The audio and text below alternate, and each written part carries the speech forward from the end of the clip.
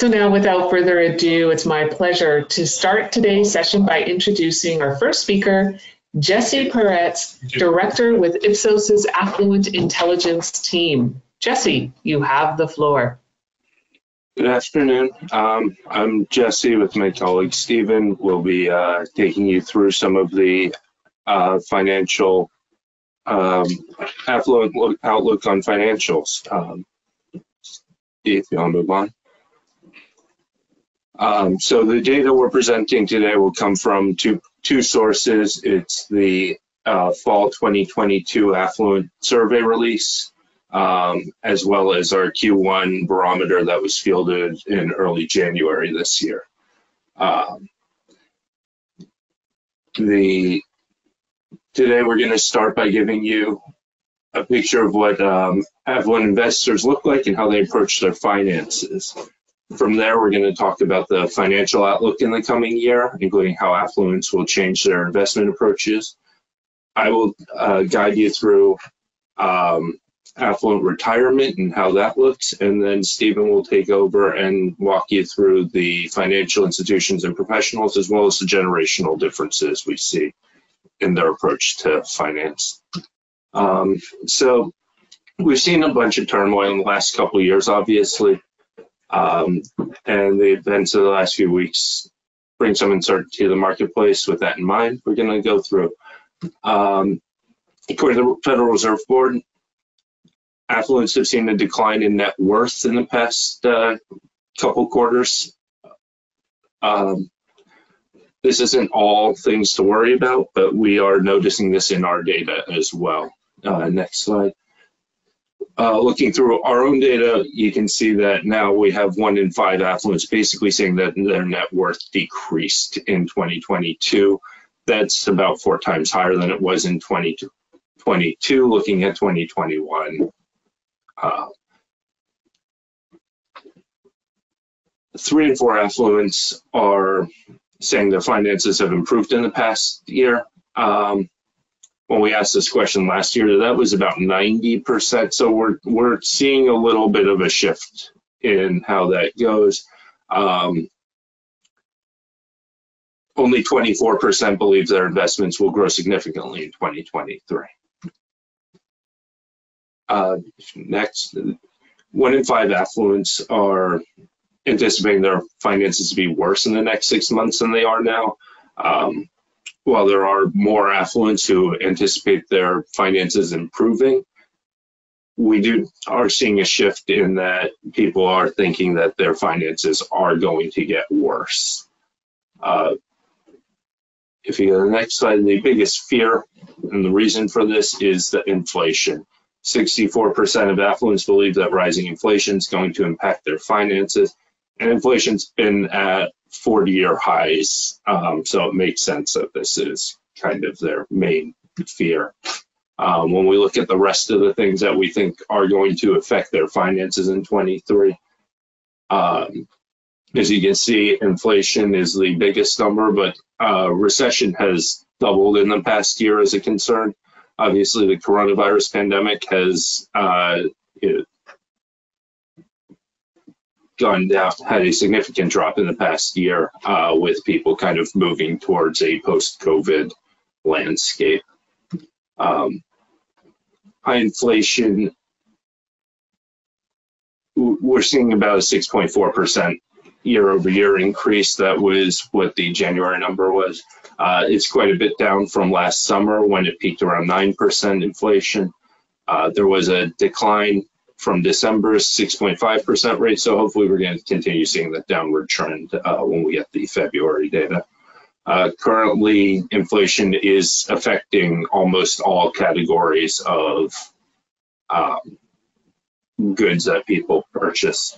Um, the only one that's really, you know, seeing a decline in inflation is used cars and trucks, and that's due to um, a kind of increased price on those due to a chip shortage for new cars in the last year that's we've moved past so now the used car prices are starting to slide back now um, when we look at how the Dow Jones has reacted since in 2022, you can see that, you know, it's down 1% year over year, but it's basically flat in the end. But there were significant drops during, during um, affluents are twice as likely than non-affluents to say they are financially secure, and 72% say they still have money left over for a little indulgence. With this in mind, you know, when we look at how affluent optimism is going, um, you can see that it's kind of even right now 41% pessimistic, 40% optimistic. Affluents are always the first group to overcome financial obstacles like inflation or a recession. Historically, our optimism has been pretty tied to how the stock market looks because affluent money is taking up a great deal of the stock market money. Um, that's why you know the net worth is down. It's not that their wages or anything has gone down in the last year. It's just that because the stock market went down for a bit, their optimism about the economy went down. Now that the stock market's kind of going back up, their optimism is going back up. Um, we'll see if this continues in the next few months. Um, when we look at their concerns for the coming year, or when we look at how they think the coming year is going to go, you can see here that the things that are within their control, how their family is, the company they work for, if it'll be a good year for them personally, and their career finances, there's a lot more optimism than the economy generally or America as a whole. Uh, this is something that we notice every year with affluent data, they are very insulated against the rest of the country and how the economy is moving. Um, and then when we look at how spending is going to go in 2023, you can see here that for all the kind of you know household things, groceries, streaming, cable, uh, technology, the numbers have gone down a little bit from 2021, and we've seen increases in cars, vacations, personal services, commuting, etc. Anything that somebody is going to need to go out into the world is really starting to increase. And with that, I will hand it over to Steve to discuss the affluent portfolio. Thank you, Jesse. So let's go over the affluent financial portfolio. How much money do they have? investments, and what they plan to do in the future. There are over 33 million households in the US that we classify as affluents. The median average affluent household has a net worth of $1.25 million. Over one in four of these households, these 33 million households, has a net worth of excess of 2.5 million or more. And one in seven, 14% of them have 5 million or more in net worth. On average, affluent households have about three quarters of a million dollars in investable assets. And as a result, they are critical to the financial institutions of every kind. the older affluents, the more established affluents, have the greatest holdings, but even younger younger generations, the Gen Z, the millennials, they're building a significant amount of wealth, which will grow as their earning power increases over time. But establishing financial strength requires dedication, commitment, and in many cases, financial professionals and advisors, which we will go through later on in this, uh, this presentation.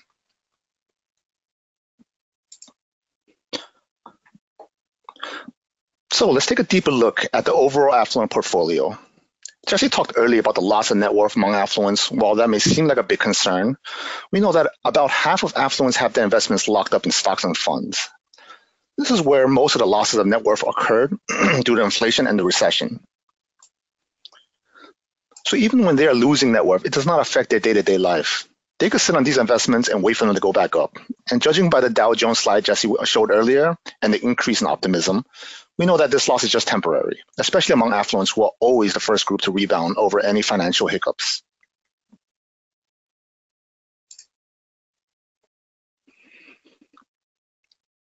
And this chart shows affluence allocations among different types of financial accounts uh, over the years. And it's relatively stable in the, in the past five or six years. We've seen little movement in where they place their financial bets.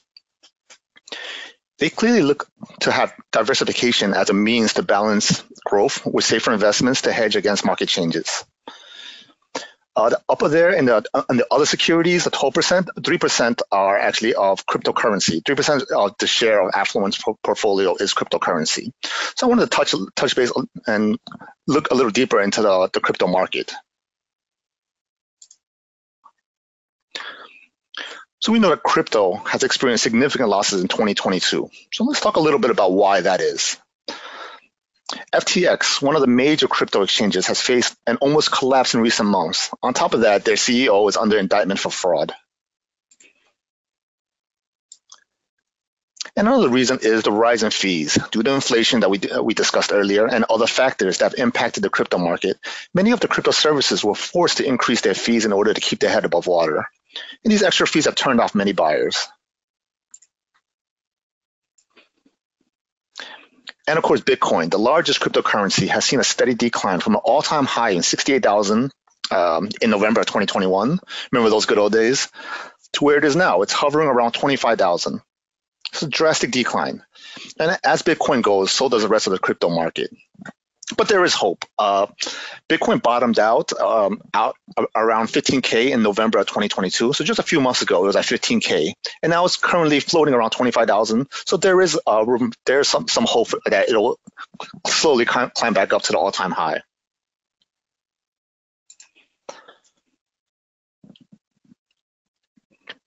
And the last one is uh, on speculation and manipulation. So when investors, especially whales, these are the ones that hold a, a, majority or a lot of shares in these uh, these crypto market uh, currencies, when they when they sell their assets in droves, either out of fear or panic, or just to manipulate the market. When you sell, you know it'll go down, and you buy when it's lower, and hoping it'll go back up. That's called manipulating the market.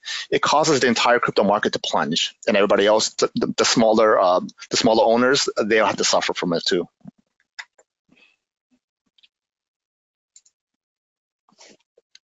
And this drop in cryptocurrency uh, is no different among affluents. At its peak, 41% of affluents owned some form of cryptocurrency in early 2022. And this has dropped to 33% ownership in 2023.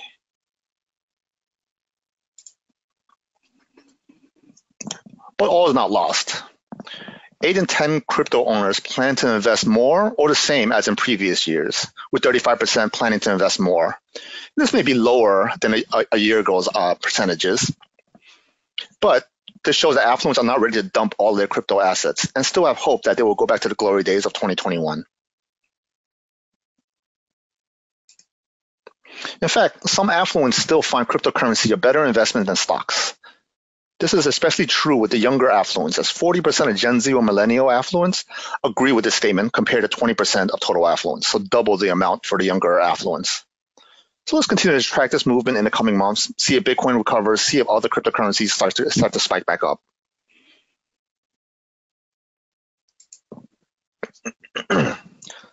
so how will all of this play out for 2023? You know, with all the worries about inflation and the economy and cryptocurrency, affluents will be slightly more conservative and less aggressive with their investments this year. If you look at the numbers, 2022, 23% of them say they, they plan to be more aggressive compared to 18%. So a 5 percentage uh, drop in aggressiveness.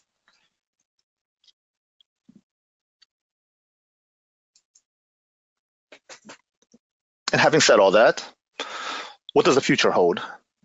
Many affluents still plan to hire a financial professional, acquire new insurance, and open new financial accounts. These have all shown increases from pre-pandemic levels in 2020. So despite, or should I say because of worries about the inflation and the economy, affluents are starting to look for ways to better their finances by either getting guidance or moving their investments around to maximize their profitability. Now with that great news, I'll pass it back to Jesse to talk in detail about the retirement category. Thanks, Steve. Let's go to the next slide. Uh, so when we look at the employed affluence right now, uh, in the next 10 years, we're going to see a big shift. Um, most of the affluent boom, baby boomers are going to retire. That's uh, about 75% of the, the, remaining employed ones are going to retire. Um, but we're also seeing the start of Gen X reaching retirement age. Um, Gen X makes about up about 35% of the affluent population right now. It's our largest generation within the affluents. Um, and 20% are planning to retire in the next 10 years, eh, with 46% getting ready to retire within the next 20. Um, obviously, the Gen Z and millennials are a ways off from their retirement, although 10% think that they can do it in the next 10 years. Um, when we go to the expectations for how much money is needed for retirement in 2019, that was sitting at about 1.9 million dollars, and now that's raised up to uh, 2.4 million dollars. When we look at this broken out by generations, you really see where this is coming from. Um, the boomers and seniors think they need about 18, 1.8 million to retire. Gen X, which is in line with where that was in you know 2019. Gen X is about 2.3 million, and then Gen Z and millennials think they'll need nearly $3 million to retire, and that will probably go up between now and when they hit retirement age. Um, next, 401ks remain the most popular retirement account. Uh, 75% of employed affluents own a 401k account, uh, but we're seeing generational differences in how uh, retirement accounts are kind of spread out. Uh, the boomers are most likely to own regular and spousal IRAs as well as annuities and brokerage accounts. Gen Xers are the most likely to own 401ks and Roth IRAs. Um, and interestingly, the younger affluents are the least likely to have a 401k, and that and they seem to have more of the simple 401ks and simple IRAs, as well as the Keogh and 457b accounts. These are all accounts that are focused on smaller companies. So we know that with them working more in startups and entrepreneurial pursuits, that will make a lot of sense. Um, the retirement contributions are shifting a little bit, um, or they shifted a little bit during the pandemic, and now they're shifting back. Um, we're seeing that instead of contributing, you know, in that more than the company match and less than the maximum range, uh, affluents are shifting more towards the maximum allowed or the company match levels. Um, when we look at this generationally, generationally, the younger generations are more likely to just do the company match as they need their money for the rest of their livelihoods um, versus you know, the older generations, Gen Xers and baby boomers, are put about half of Gen Xers and more than 60% of baby boomers are putting in the maximum allowable for their age as they get closer to retirement. Um, during the pandemic, a lot of companies stopped offering matching retirement account matching as part of you know cost saving measures. So we've seen that you know company not offering matching contributions uh, shrink as those policies have gone back into place. Um, next, affluents are on track to be financially prepared for retirement. Um, 62% say they've exceeded their financial goals for retirement or are on track for them. That number is about 75% for baby boomers and um, about 40% of Gen Xers say they're at least somewhat behind on their retirement planning goals. Um, when we look at how they plan for retirement, affluent boomers are the most likely use the traditional sources like you know recommendations and traditional media. Gen X is using the same types of sources though at small lower levels. Um, the younger generations are using you know more non-traditional sources, but they're also in such early stages that you know, they will get moved as they near actual retirement. Um, we're seeing across the board increases in what professionals are being used in retirement planning. There's you know, a big increase in full service brokers and financial planners and online trading. It's just across the board. If um, you're planning for retirement, you are using professionals to help. Uh, in the midst of asking all of our, you know, kind of dry questions, we do ask people what they're looking forward to in retirement. Um, we haven't seen a lot of shifts in the past four years from when we started asking this question, but the largest shift is actually in travel, where it dropped nine points over that time. Um, it's still the thing that people are most looking forward to. Um, and it seems a little odd with, you know, a lot of the pent up wanderlust that we're seeing in the rest of our research right now. But it's, this is being driven mostly by younger generations who are, you know, maybe not waiting to retirement to travel and they want to get it done now. Um, the on the flip side, we do ask about their concerns for retired life. And while they've remained mostly consistent over that time, we're seeing decreases on the kind of financial uh, measures, while the more personal fears like losing independence uh, and lack of, um, sorry, losing the independence and volatility in the stock market are rising. Um, it's really a matter of uh, what's going on now versus how they feel kind of what's going to happen in the future. Um, affluents are really looking forward to their retirement. Uh, we've seen a huge increase um, in the thought that it will be better than it is now. Uh, this is being driven by the younger generations, more than half of whom say that retirement will be better than their lives are now. Um, about 60% of baby boomers and Gen Xers think it'll remain about the same.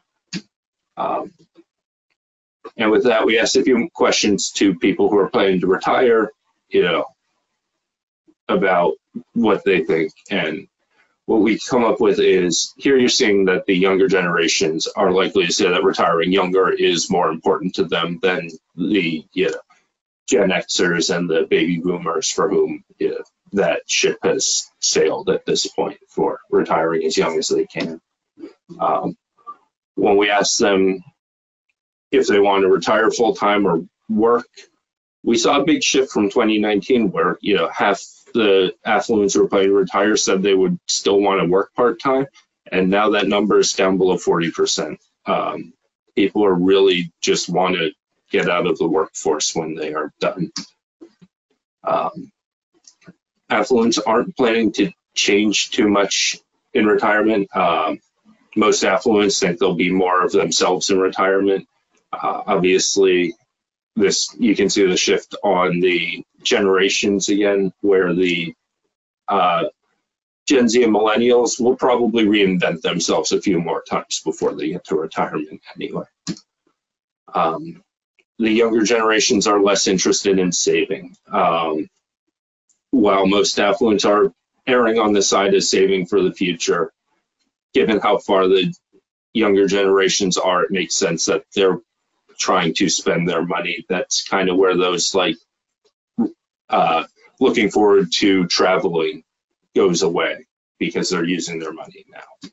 Um, and then when we look at leaving money to their heirs, you can see that there's a big difference between the Gen Z millennials and the boomers. Um, most affluents are trying to enjoy their own money while they're still alive, but that kind of goes down as you get younger.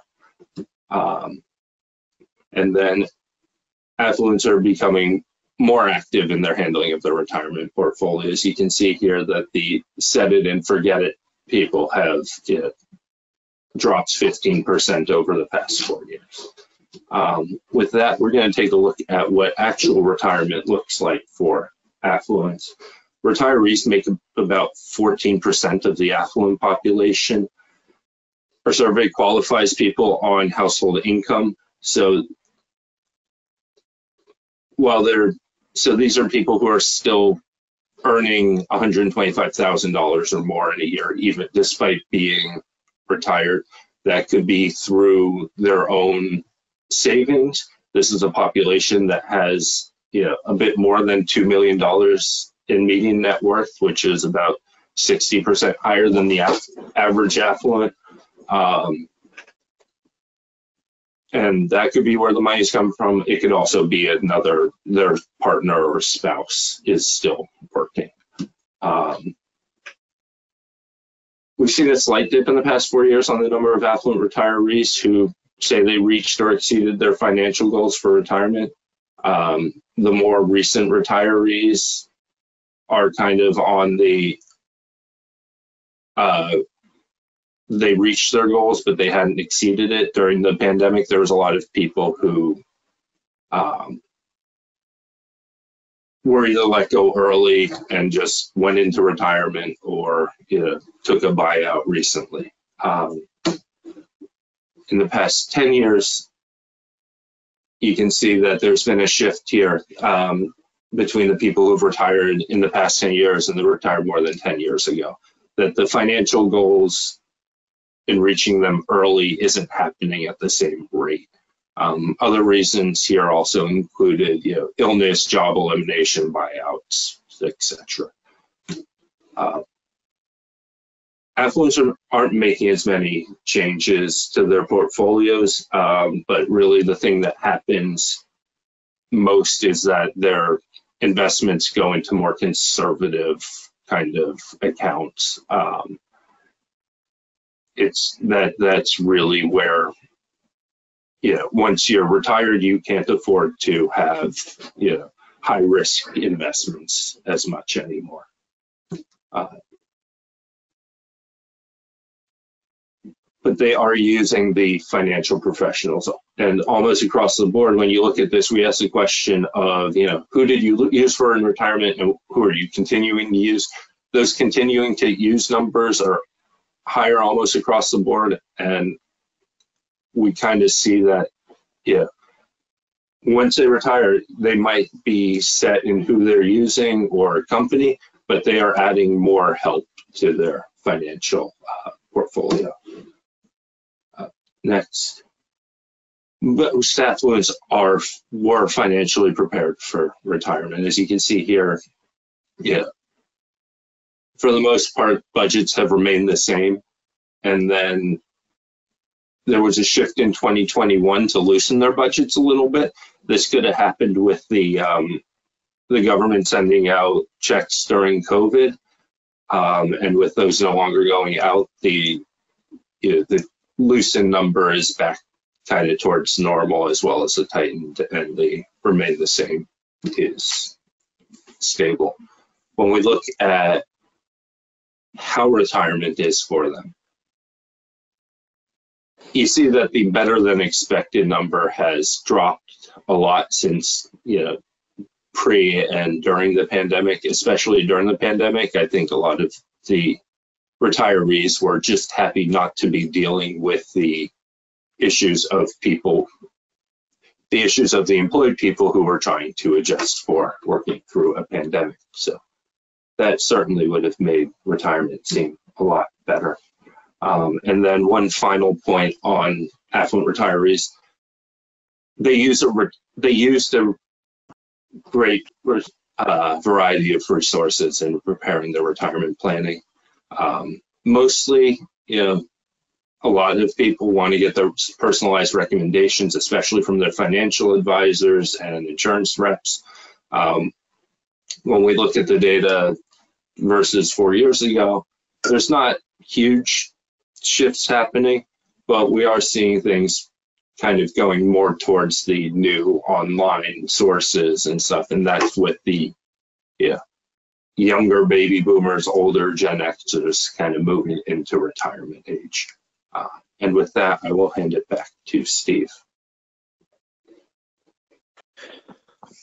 Thank you, Jesse. And with retirement looming among so many affluents, let's turn our attention to the needs for financial professionals. I know Jesse uh, touched a little bit about that, but let's just uh, dive a little deeper into that, uh, that category.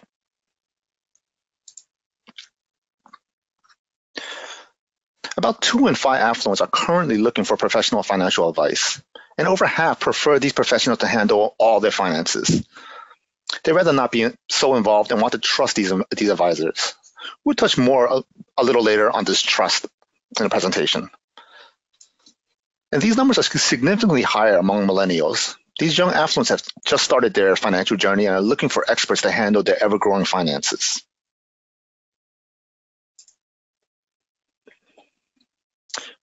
And this chart here, it's mostly showing the expected churn of financial professionals used by affluents. The survey was filled in early January, so it makes sense to see the seasonal growth uh, the tax, during tax season of tax consultants and CPAs. But at the top of the list is the do-it-yourself usage of online trading for their stocks and crypto buys. The usage of a robo-advisor is at the bottom of the list, but this is a service that is starting to gain some traction. So let's talk a little bit more about this robo-advisors.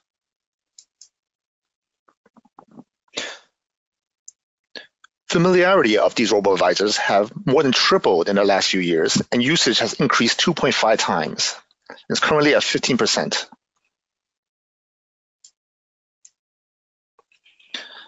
But affluents still prefer human financial experts rather than a robo-advisors, so don't expect human professionals to be replaced anytime soon. Millennials, however, tend to trust robo-advisors at a much higher rate. In fact, 37% of millennials say they trust data algorithms more than human judgment, compared to only, only 28% of total affluents.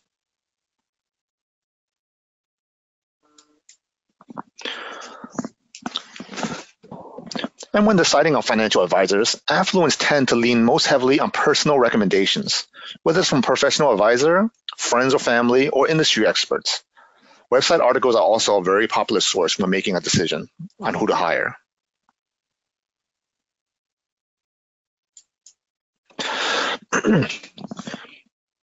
Trust, trustworthiness remains a top factor when choosing an advisor. This is true among all generations.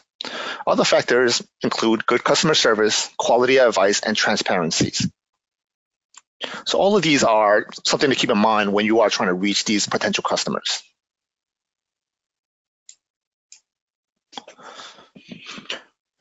And when we ask these affluents, what financial companies do they trust more? Many of them list retirement companies. Fidelity comes up uh, clearly as the, the top one, and Vanguard as well. And these are typically companies in which they have a retirement plan due to their employment. In contrast, when we ask non-affluents this question, they mainly list banks such as Chase and Capital One.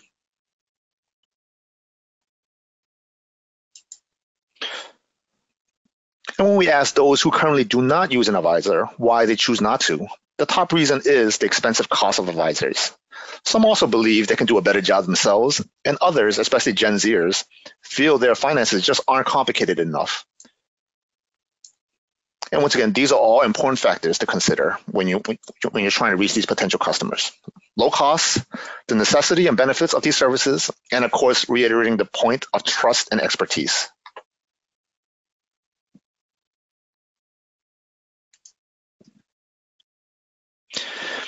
And we get to our final section. So thank you so far for your patience. We talked a lot about generational difference in, differences in the previous sections, especially with retirement, but let's dive deeper into how these life stages factor into their financial journey, some of their attitudes.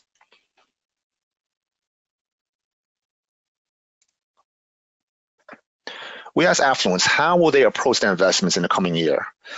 Millennials, no surprise, will be by far the most aggressive investors.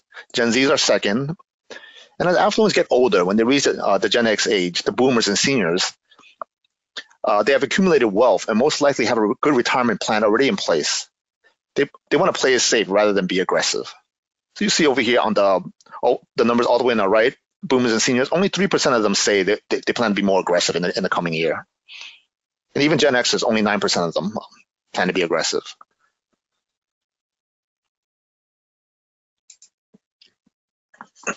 And we also talked previously about what will impact affluent finances in 2023, and inflation was the overwhelming concern. This is true among all generations, regardless of age, but less so for younger affluents who are at a point in their life where their salaries are increasing, and while they may be keeping pace with inflation, they will grow as their career advances. On the other hand, older affluents who have already made their money and do not have the benefit of continued salary gains and promotions see inflation as eating into their wealth in a way that doesn't allow them to recoup lost money. Other concerns could be tied into the effects of inflation, including rising interest rates, a recession, and market volatility. And Jesse talked earlier about the coronavirus not really being a factor anymore. That that has declined drastically. Uh, so these are these do not uh, the concern for coronavirus do not make the top list except for Gen Zers. And you see it, the table all the way to the left. About one in five um, Gen Zs still uh, list coronavirus as a concern for their finances in future.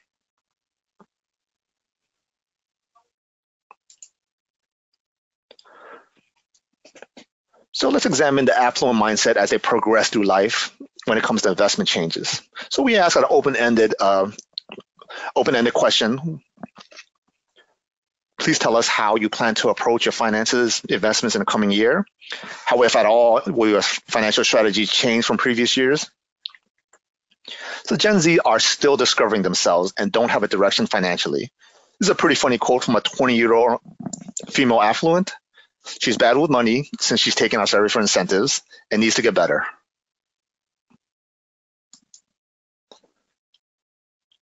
So they know they know they need to get better and get to act together. So this 22 year old wants to save a bit more and would like not to have to worry about money in the future. In fact, four and five Gen Z affluents are savers rather than investors. This is the highest among all generations. Only 48% of boomers and seniors consider themselves to be savers.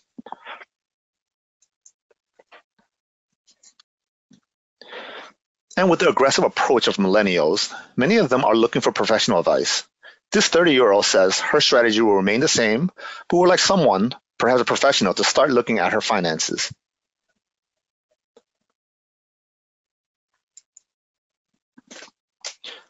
Some of the millennials have debts to pay, including their home, vehicles, a new car or used car, and student loans. Even at a ripe old age of 33, they're still paying off their college uh, college tuition and and fees. In fact, because of these expenses, 45% of affluent millennials say they live paycheck to paycheck. And this is considerably higher than all generations. In contrast, only 7% of boomers say they live paycheck to paycheck. So the older affluents, they're more settled, they're more secure than the, um, than the younger ones.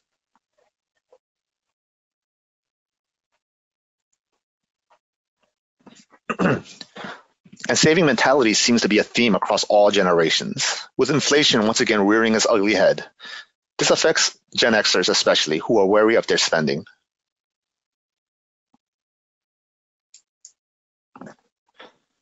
And keeping with the saving money theme, some Gen Xers are taking full advantage of their employee benefits such as 401k, company stocks, and Roth IRAs.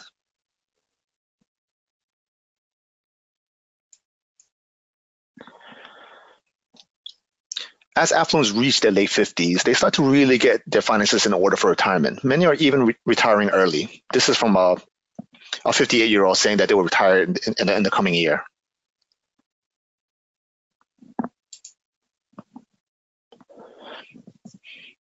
And when they reach their 60s and retirement looming, they are in market for new financial advisors. This may be a little, a little shocking uh, when, when you're when you're in your 60s, you start to look for advisors. But this may be because many never had an, an advisor that they, never had an advisor before until they truly need one. And with retiring retirement coming up, with a lot of um, excess money coming away, you want to you want to make sure that you you have the right direction.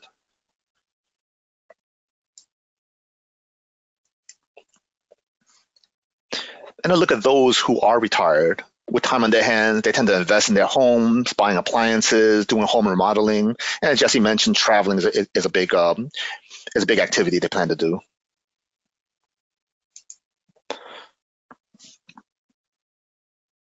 And retirees are playing it safe with investments. They aren't necessarily savers, but they are safe investors. It's about protect. It's, it's about protection, um, protecting what they all the wealth that they have built rather than gain.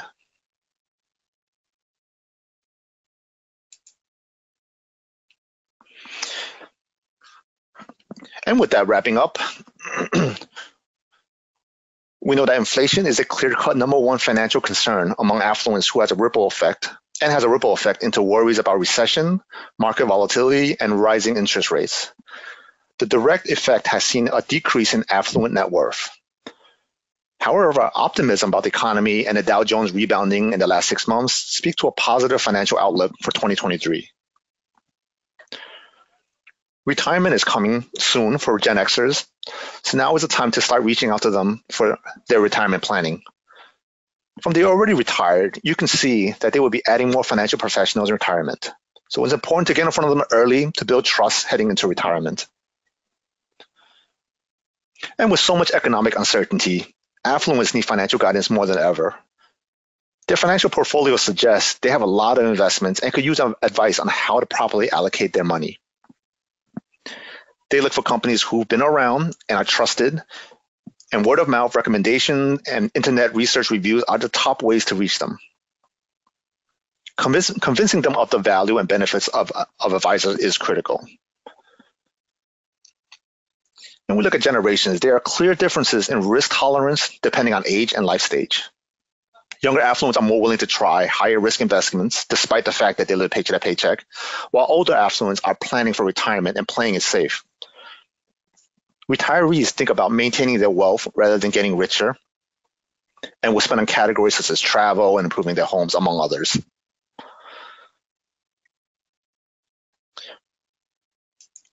And with that, we thank you for your time today. We hope you find this information useful in your business. If there are any questions in the chat box, we'll be happy to answer them personally. So expect an email from us uh, very soon. Thank you again, everyone, and have a great day.